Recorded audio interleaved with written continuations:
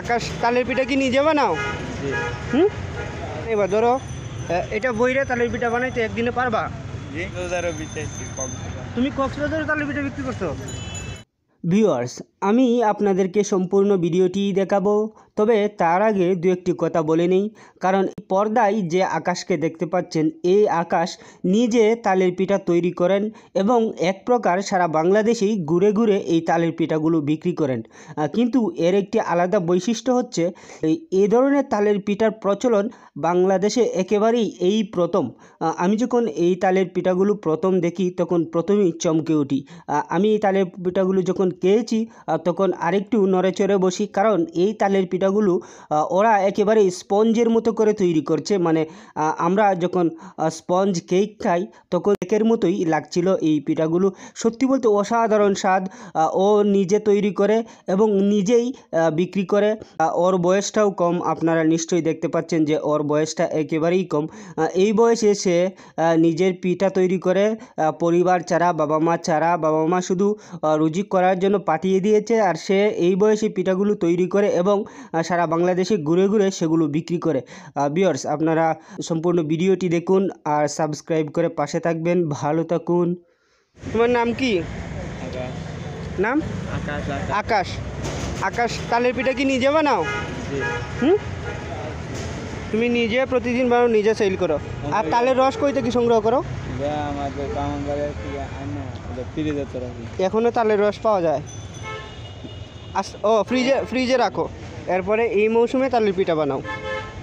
তুমি ব্রাহ্মণবাড়িয়া থেকে এখানে কি একা থাকো?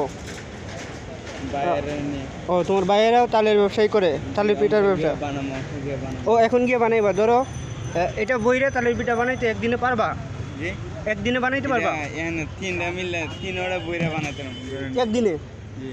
হ্যাঁ আলাদা কোনো সাঁচ লাগেনি বানাইতে? কিলা বানাও? কড়াইয়ে দিয়া বানাও নি? কাপ কাপ ছোট কাপ। আচ্ছা ধরো একটা তাল দিয়া হুম কয়টা পিঠা হইব? এক বালতি মাল বানাই কতক্ষণ রস দিয়ে এক বালতি মাল বানাও? আর এটা কেক কেকের মতো যে স্পঞ্জ হয় এটা কীভাবে করো? হ্যাঁ?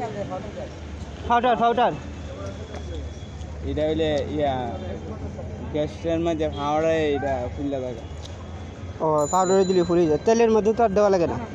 ও তেল ছাড়া তেল এটা এই বছরই কিন্তু আমি দেখলাম তালের পিঠা। কক্সবাজারও কক্সবাজার। তুমি কক্সবাজারে তালের পিঠা বিক্রি করছ? এক পিস কত বিক্রি করো? এক পিস দশ টাকা। ভাই পাঁচ টাকা করে কবে খাইছেন আপনি? হয়তো বেশি দিন হয়েছে। বেশি দিন হয়েছে না? এই তুমি পড়াশোনা করো? পড়াশোনা করলে কি আর ইচ্ছা করলাম? তো পড়াশোনা করল না কেন? পড়াশোনা তার থেকে আমি ভালো লাগে না। তোমার আব্বু কি করে? আমার আব্বু দেশের বাড়ি কাম করে। ভাই বোন আছে। গৃহস্থী ভাই বোন তো গৃহস্থী করে তো তুমি তো তো গৃহস্থী জন তুমি বাড়িতে লেখাপড়া করতে এই তো এই তো ভাই ঠিক কথা কইছেন। তোমার আব্বু কি বলছে? তুমি ব্যবসা করে সংসার চালাবে তোমার আম্মু বলছে? আব্বু তো বলছে পড়ালেখা করতে। ভাই ও কিন্তু নিজের দেশে পড়ালেখা ছাড়ছে। এটা আপনি মানেননি? বললাম আমি ব্যবসা করো। কিন্তু তুমি বললা কি তোমার আমার আব্বু বাড়িতে গৃহস্থ করতেছে। তো শাশি করে তো খুব ভালো জিনিস একটা। আমি নিশ্চিত যে ওর দান হয় প্রচুর। ভাই আমি গৃহ সন্তান। হয়তো শহরে তো কিন্তু সম্পর্কে আমি অনেক জানি। জানা আছে আমিও জানি। তোমার বয়সটা তখন তোমার লেখাপড়ার বয়স। হুম। তখন বলা তুমি মনে করো পিঠে সাথে ব্যস্ত আছো যখন তুমি যখন একটু আমরা মতন যখন চলাপিঠা খাব অনেক মানুষের চলাপিঠা খাবা এই সময় যখন বন্ধু বান্ধব হইব তুই সময় তুমি পিঠা খাব ঈদের ছেলে পিঠে ছিল কর্ম শিখতে পারবে একটা তুমি দিতে পারবে তুমি। কর্ম তুমি শিখতে পারবে কাম শিখব কি কাম। শিখবে হাতের কাম।